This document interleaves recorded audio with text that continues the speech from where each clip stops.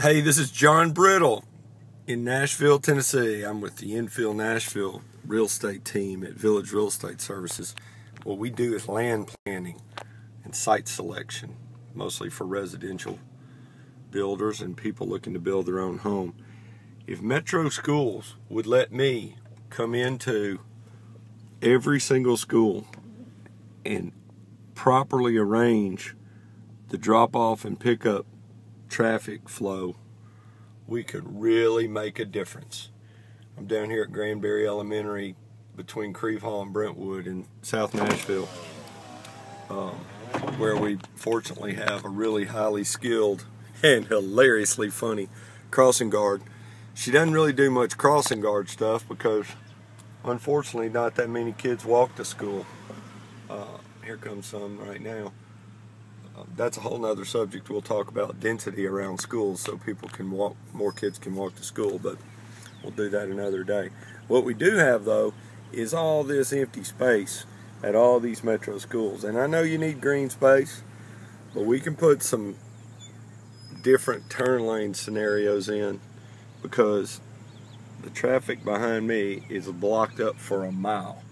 And that's because there's only one way in and one way out of this school zone there's only one way in and one way out of the parking lot at that school. You can see everybody over there parking on the grass.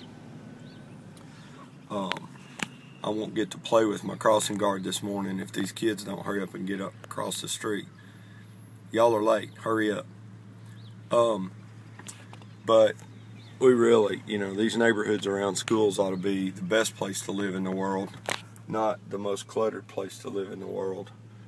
And by golly, I may start right down here at Granbery Elementary, getting us a better way to do this. She's looking at me going, is he gonna stop? I'm not sure he's gonna stop. She doesn't think I'm gonna stop.